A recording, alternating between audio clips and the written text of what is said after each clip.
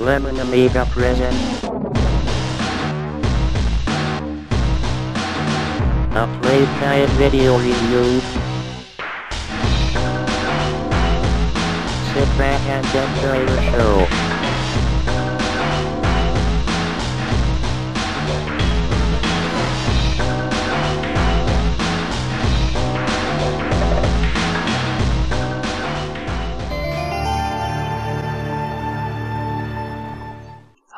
Welcome to another Lemon Amiga play guide and review. This time we'll be checking out Wheels on Fire, developed by Prolixity and released by Epic Marketing in 1997. Checking out those options, I'll mistakenly put that on easy mode and we'll stick to the main tracks for this, the ones that came with the CD, and this came on a CD, but you have to install that on a hard drive before you can play it. And so let's change our name from 1 and user ID 1 and wrong user ID, that's fine. So you can change a limited number of options and you can see some rendered screens and you can see a map with some coders on there. And they didn't really code much on the Amiga so I can't really talk much about them. And so this was released in Poland in Polish and things like that but this is a voxel racer. And so this was released very late in the Amiga's development 1997 and let's face it by 97 Poland was the last place that the Amiga was popular before the doors closed. So let's check out the first race. Here we go. This is a voxel racer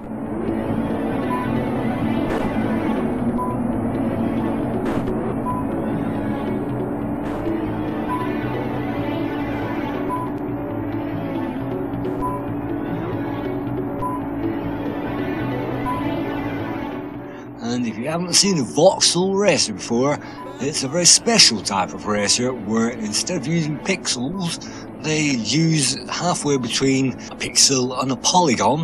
What you might see on other games, and polygons, of course, you can't move for polygons these days. So the voxel racer was a lost category that nobody asked for, nobody wanted, and there are only a few examples of that on the Amiga.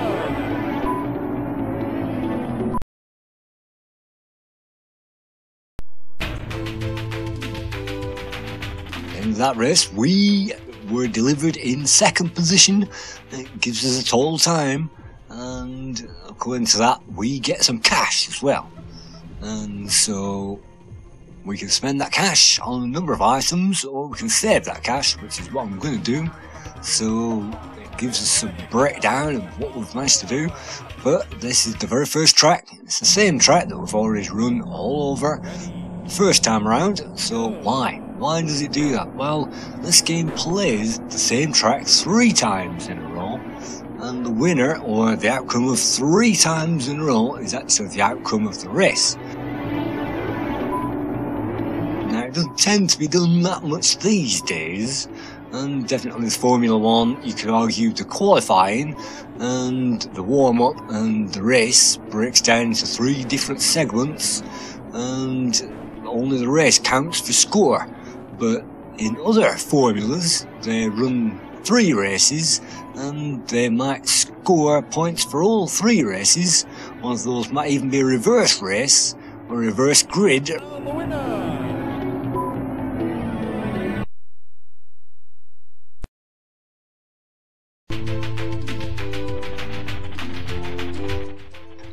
Be a good idea to buy myself some tyres, but in this game, it either works or it doesn't work, and it carries on working usually unless you have maybe 50% remaining, and then it decides to get a bit less. So at this particular point, I don't really want to buy myself anything extra because that won't give me any more grip on the level.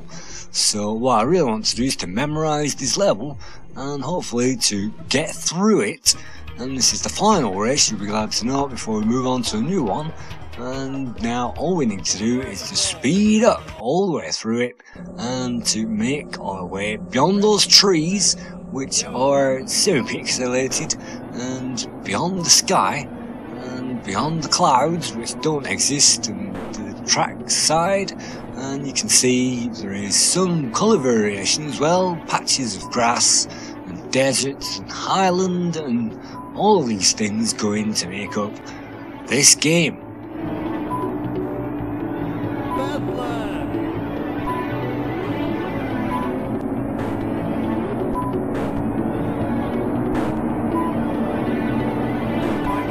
See, we have one more lap to go, and that means that we can floor it, cut out all of these corners, and hopefully get through to that line.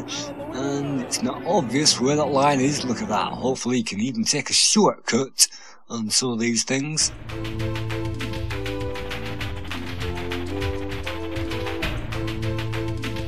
The best lap time is number one. Dan's there, number one. I've now got 12 points in that championship. We can now save the game at this point, and if we choose to do that onto the hard drive, that will save our progress, and it will also save our cash.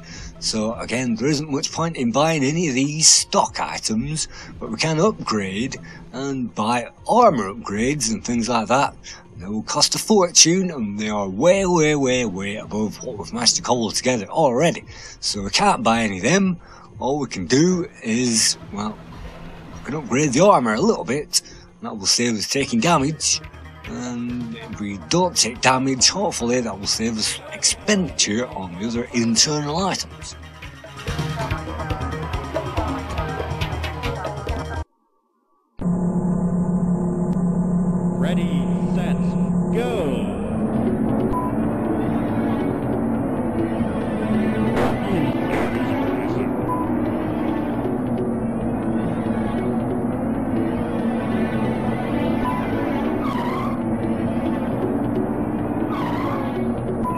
Course, it's foggy, and I can't remember whether I played this with the joystick or the mouse, but there is a quick way around these corners. There is a technique where there is something that you can employ, and it will get you around these corners a lot more smarter.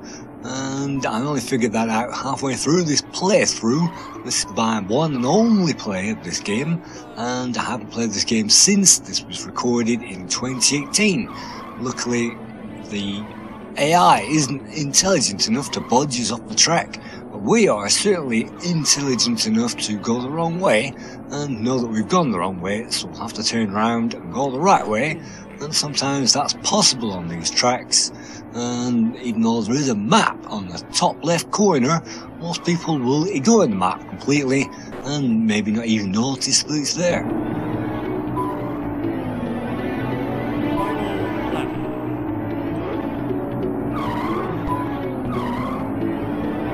This level, you might notice that we have some fog, and that doesn't really help us turn these corners, but what the fog will do will give us a fog of war, and those enemies will appear, and we'll have to overtake them without crashing into the back. And as you can see, on easy mode, it is possible, but look at that, going the wrong way again means we crashed out. That means, well, race result, we won it.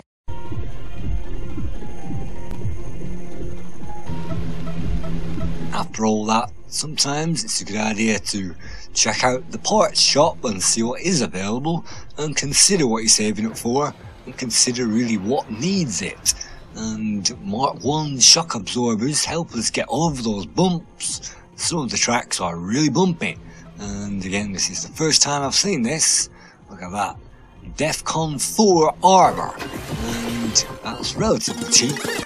And again, that will save us getting that damage. So let's continue. Again, we need to complete these tracks three times. And then having done that three times, then we get to move on to the next track. And these tracks are very short, you might notice.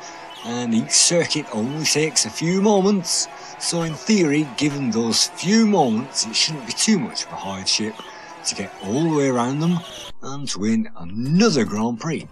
And so let's skip right through onto Death Valley for the final time, hopefully. And this is hopefully the final time after you've played it three times. You should be good enough to speed through it, full speed, knowing this track inside out. So if you fail on the first one and do miserable on the second one, then surely on the third time around on the same event, then we should be able to get that first position.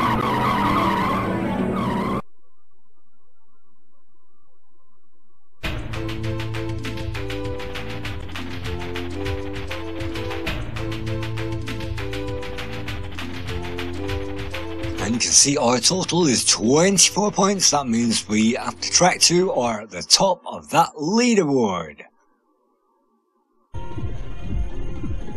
Checking out the shop, once again it would be an idea to buy studded tyres on the tracks which are requiring of those studs. I don't think there isn't too many sleepy slidey tracks on this game and the ones that we've got already seem to have studs on them. Street grinders and they're pretty cheap at 3,000 seems we have 17,000 those aren't too bad and the rest come in at pretty cheap but the ones we've got are turbo tyres for 2,000 and so well the slicks don't come in handy on the snow courses.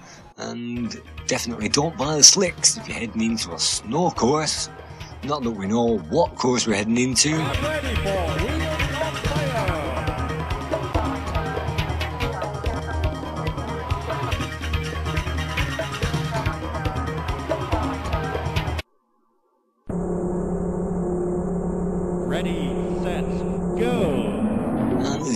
out, it turns out to the desert. So, slick tyres in the desert perhaps isn't the necessarily best thing when you've got sand going around and junctions as well, which means we better keep an eye on that map. This is not Super Sprint. This is not the map that we normally face when we're using these kind of driving games.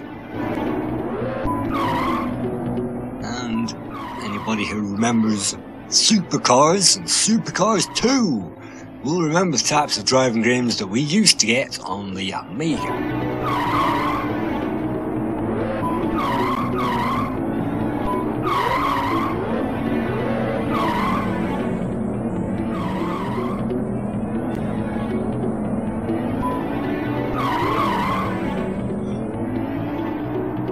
Can be surprisingly frustrating to be very slow when we go offline and that will slow the car down almost to a stop. So as long as we keep our wheels on fire on that track, that will mean that we can get through this and we can get through it all in one piece. That means we can hopefully get a good position. And again, on this easy mode, it's not too bad as long as we know those tracks. And we've definitely memorized that track now. It's a figure of eight. So let's just skip on through to the next one. And with the car in that current condition, that's all I can really do. Unless I want to spend, spend, spend money on some new performance. Definitely shock absorbers with this track would be beneficial, so let's grab some of those. It still leaves us 10 grand in the bank. And just like Supercars 2, it's great to juggle that money. Unfortunately, this is not the stock market, and we do not have interviews in this game, and mental dexterity choices that we'll have to maneuver our way around press and animal rights activists and things like that. So, in my mind, this game has taken a step backwards of the Supercars 2 formula, and now we get the actual track in the corner. So let's speed it on through, hopefully to another defeat by me as I struggle my way around this ridiculous track in Wheels on Fire.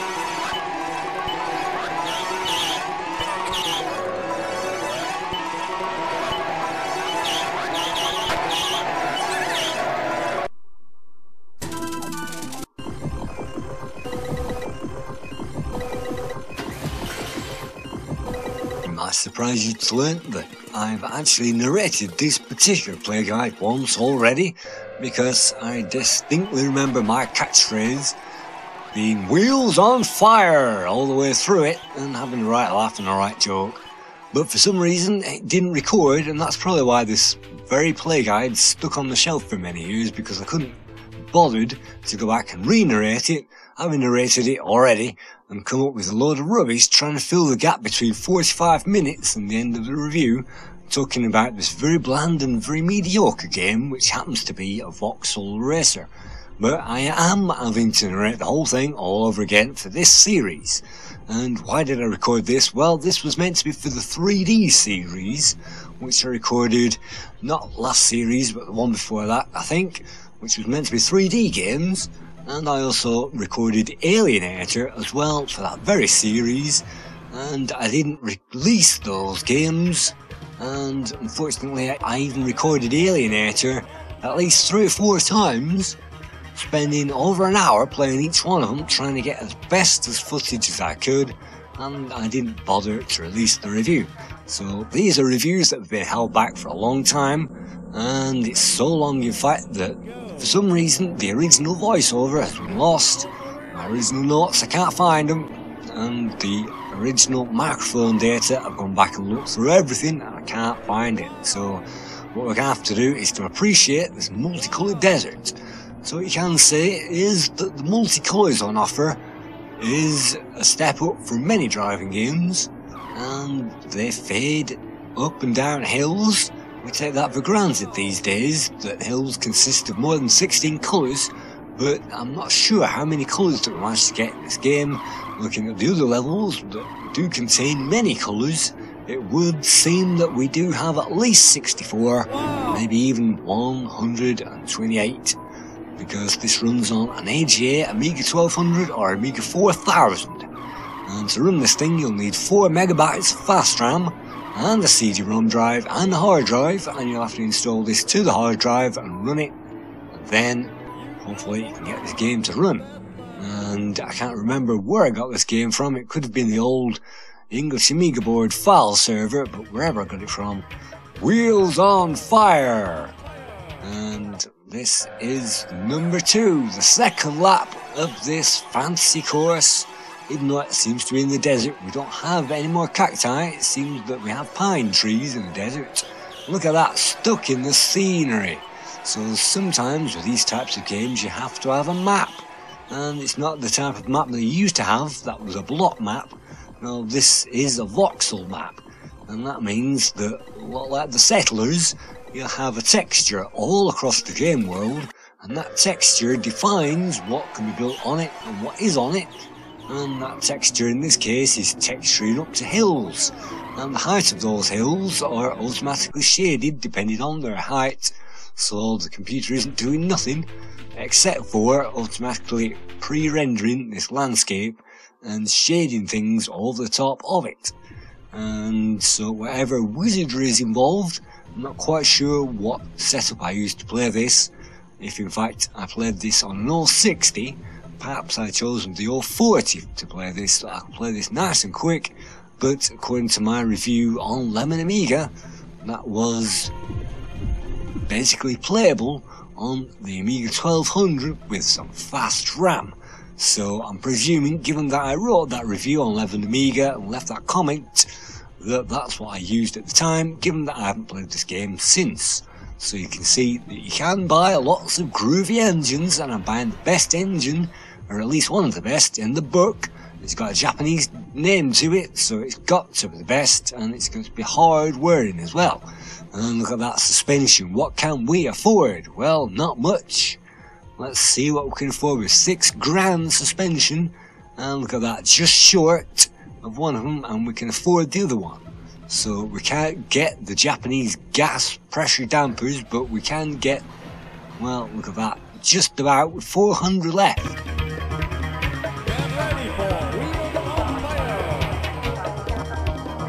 Max speed is definitely what you want on a snow track, so the biggest, best engine is definitely what you need. And so, buying completely the wrong things here, suspension is definitely not what you need either. You need soft suspension for snow and grippy tyres. So what we have got instead is the best suspension and the best engine, which will mean revving all over the place and we don't have any grip on the surface.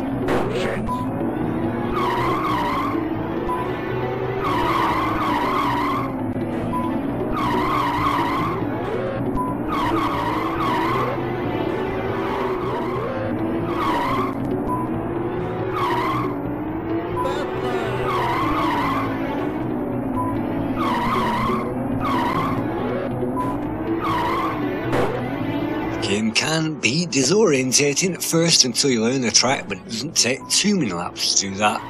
And that's only because the tracks look very samey, only the colours tend to change. And you can see this track is very similar to all the tracks we've seen already. And yes, it's white, and you can see no clouds in the sky again, uh, unlike other games. And there are definitely clouds in the sky for the old school type, even Virtual Kart Simulator, even though it ran on maybe, uh, hazard to guess, eight colours, whatever that thing ran on, it still had clouds in the sky. And so, this is race one by somebody else. Unfortunately, we didn't win that race. And that means that we didn't get that cash, that they came second. And we got the best lap time, which I'm not sure gives us anything in this particular game. If in fact the best lap time gives you anything in any game, can see we've worn out our tyres, that's unsurprising, spinning our tyres out with the best engine, with the crappiest tyres on that of surface. So let's get some spikes on for the second lap, and let's see if that makes things any easier. Go.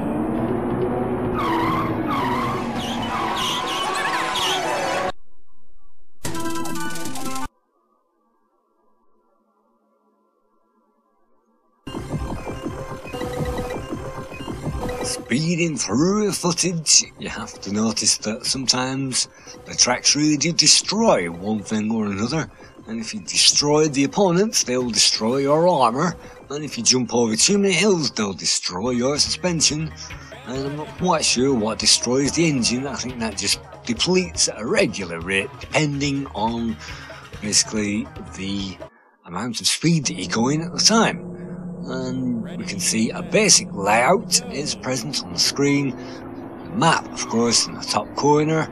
Our current position and lap one of four. Yes, four laps we have to get through. And the best lap time and the last lap time will appear after the first lap because it's a standing start. We'll not get a time first lap, so it's basically the warm lap and then the time starts after that, then we'll get whatever we got, and then we'll get some statistics, and you can see those statistics at the bottom right corner, and we can also see our current speed as well. Um, we can get somewhere around the top speed on the straights, but most of the time we don't get too many straights on these levels. You might notice the track layout has done a slight turn from the previous one, instead of the bite of the apple being to the left hand side, it's now on the top. And so the track has moved, but the track layout really hasn't. So I'm actually doing driving as fast as I can, cutting out all these corners, not necessarily to keep the lead, but to cut out as much as I can to maintain some kind of fun in the game.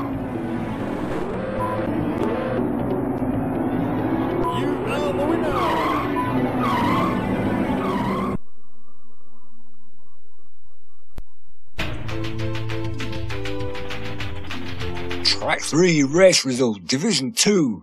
And I think there are at least five divisions that you can get through as you move through this game. And these are predefined courses, and that's why it gives us the intro to every single course. And balancing our money is difficult because if we do that too early, we'll waste money. And look at that armor's on 41% and I'm already thinking about buying extra armor and spending every penny that I've got on it. That is precisely what we do. And that is not particularly great.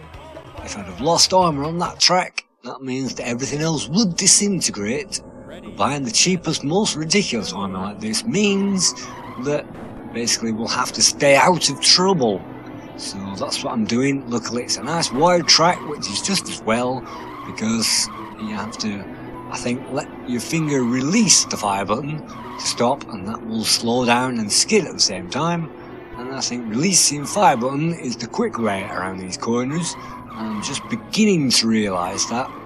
You can go full speed, release, and then back on it again. That releases a skid, and so we can skid around all these corners, just like this. It means getting around these corners is pretty easy, it means no more colliding with that scenery.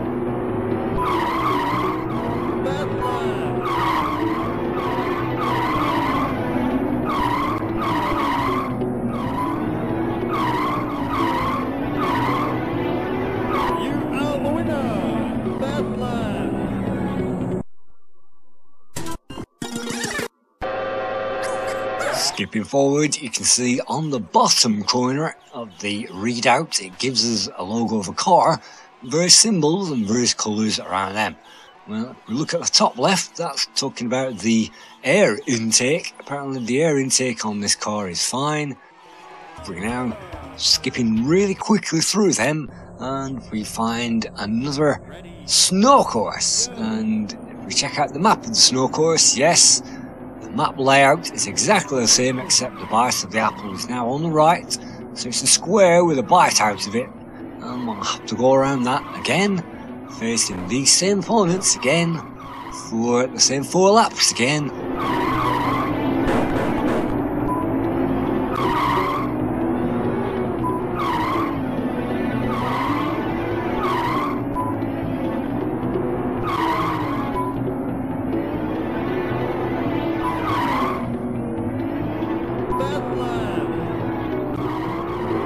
Just joining us, you've joined Wheels on Fire, the greatest game that ever lived. And during the first commentary of this game, I really sent this up like crazy, and I can't remember a thing about what I said during that, so I'm taking this fairly easy, not really coming up with too much to say because there isn't too much to say about it. The creators didn't create much apart from one game on the Amiga, and so the music isn't remarkable. The graphics are a demo, which happens to be playable, and yes, this was possible on the Amiga, but what they achieved is playable, but not really, I would say, in a kind of fun way. So, skipping through, this is Lil Lupin on Wheels on Fire. And so, Lil Lupin, look at that, we are now in a loop. Let's see if we can survive. First corner, yes. And oh no, if only these things were mined and blew up, at least that would give us some action. And if only that water made us skid off, which I don't think it does. But look at that arrows, we can jump over. It says, well done, you've jumped over something. Woohoo! Look at that, wheels on fire. And this game, look at it, this is the best game on the Amiga, if you ignore all the other games on the Amiga and it's not as bad as Desert Racing of Bardos, but then again, no racing game on the Amiga quite is as bad as that, and it's as unplayable as that, and is as unwelcome in the memories as that particular game. So if we can remember by some miracle following those arrows the right way to go, hopefully this becomes a lot more interesting, uh, we can gain a bit of height on those guys, and those enemies, those competitors in this case, those other drivers, those players, not necessarily men or women, animal, mineral or vegetable, those guys could be anything, even remote control. And to my mind, what we're actually playing is a remote control racer. Yes, this is not full speed, full screen, full high octane racer. This is actually a remote control racer to my money, and this reminds me more of the games that we got on the PlayStation 2, where we got to drive a remote control race car around remote control racetrack and high speed jumping over all these things.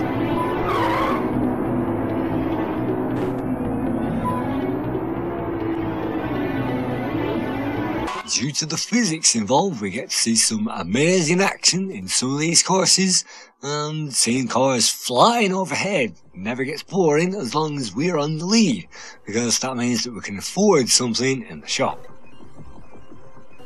The best things are usually the most expensive, of course. Sometimes it's best to play it safe and just buy the cheapest.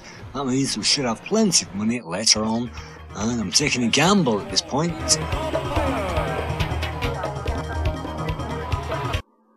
We don't need no wall in this game. It's the wall, everybody, and that only means that we drive around at right angles.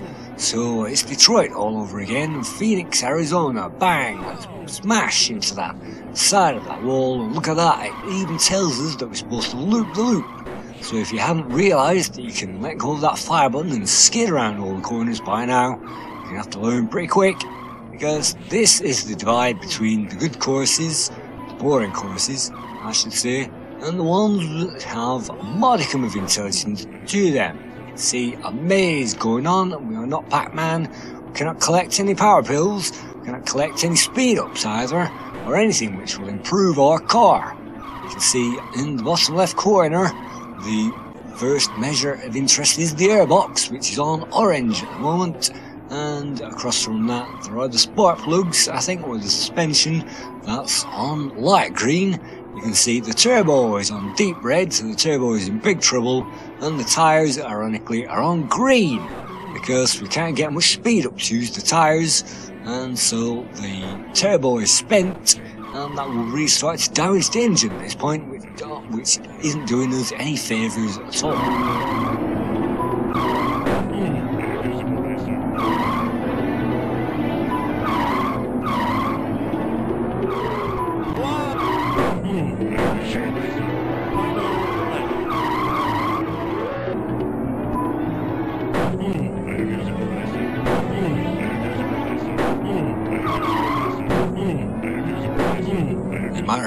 Type of 3D environment from the PlayStation 1, and if you keep your eyes closed very tightly indeed and imagine very blocky graphics the size of these blocks, then you might realise that this is the bridge between the, well, 2.5D Amiga variants and the 3D, the actual 3D, of a PlayStation, and that didn't use voxels, or tessels, or whatever they're called, that use polygons, and that uses an extra row, I think that's a square instead of a triangle, but whatever it is, they managed to create something that was unequal on all sides, and that meant that you could draw anything that was unequal on all sides.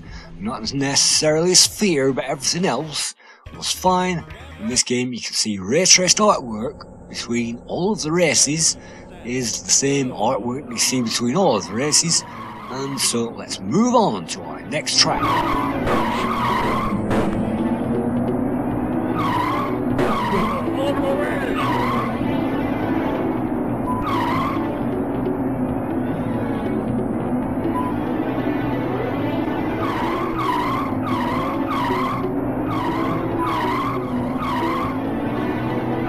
The track layer is very familiar with this one, you can see I like the stones, I like the pits everywhere, and even the general dip and fall of the track reminds me of a great game, even though it's the same track layout that we're familiar with, it's got a bit bigger, and it's still easy to be convinced that we are going the right way, even though we are not. So, this track is kind of fun, and they do start to get more fun as it goes along. It's just that we have to wade through quite a few boring ones before we get there.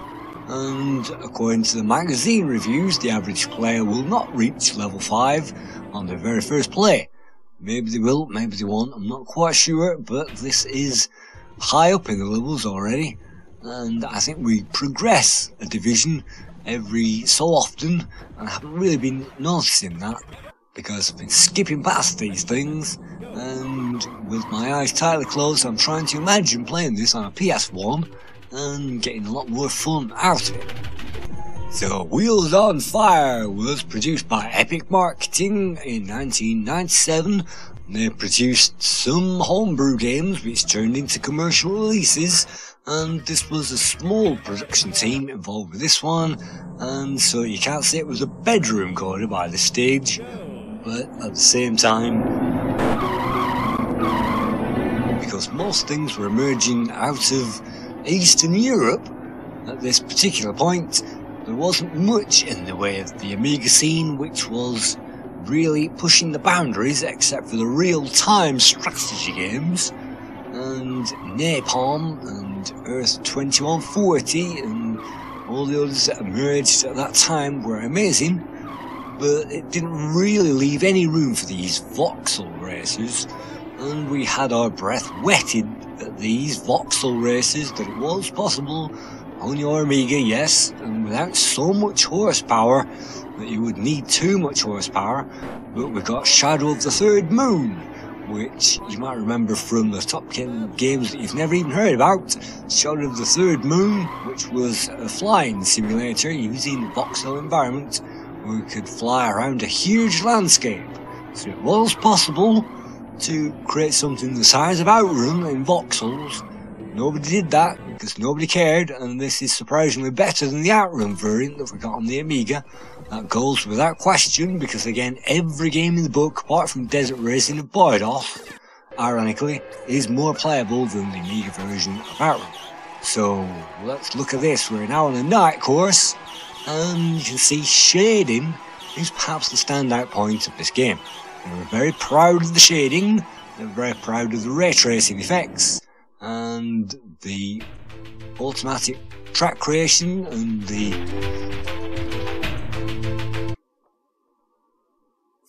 procedural generation of some of these things, no doubt, to save them time. And they could have made a construction kit for these, of which they probably did, and there are many more tracks available for this particular game, and they probably improved this as it went on. You can see my tyres haven't improved much, so I'm going to get the most expensive ones. That's a ridiculous waste of time. I should have saved that money for the engine or something which would have been a bit more productive. But here we go on a dirt road, and wow, what a difference to the track. It has now turned again, and so we have more hills and more bumps, and we have more mud on the road, which means all that money that we spent on slick tyres means we're skidding off all over the place again.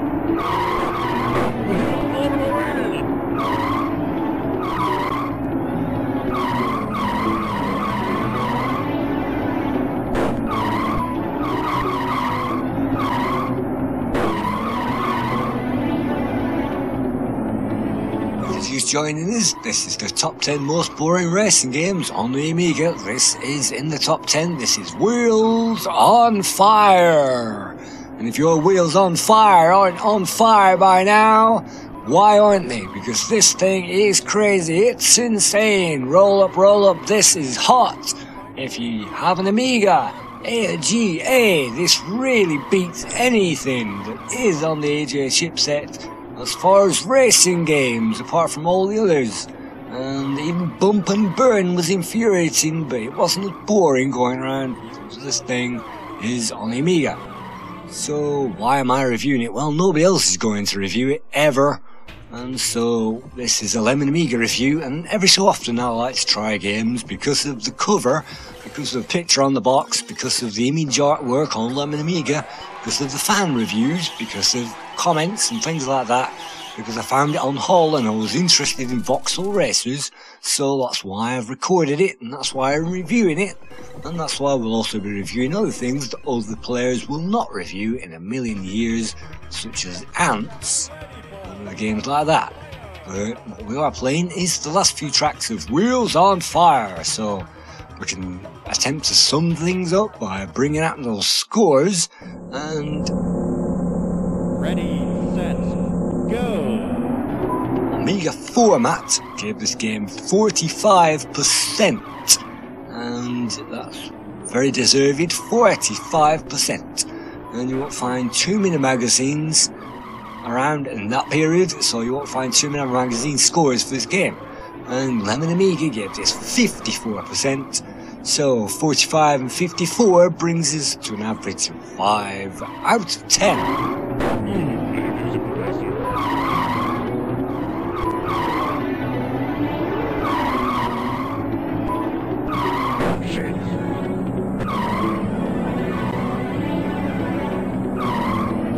Look at that!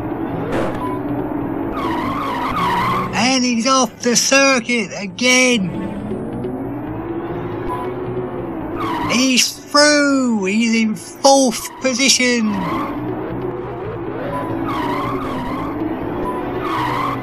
Round and round and round they go. And it's go, go, go, go, go. Crash. Bang. Smash. Nigel Mansell. Even Nigel Mansell cannot destroy his cars, man. Oh my, oh my god. Fortunately, too many crashes means our car suspension is destroyed. And that means that we'll have to get through to that line by hook or any other means, because we'll not be able to complete that race until we get ourselves over there, one way or another. And if your car is completely destroyed, it won't blow up, it'll just move very, very slowly and leave you with no money left to continue because your car is moving very, very slowly. So let's investigate the very cheapest options that we can possibly buy and hope that we can get through onto the next course. You'll be glad to know that Wheels on Fire is almost at an end and this is the first and the last time you'll ever see this game, so this is my play of it to save you that bother. This is my first impressions of the game and I'd say, wow, look at that.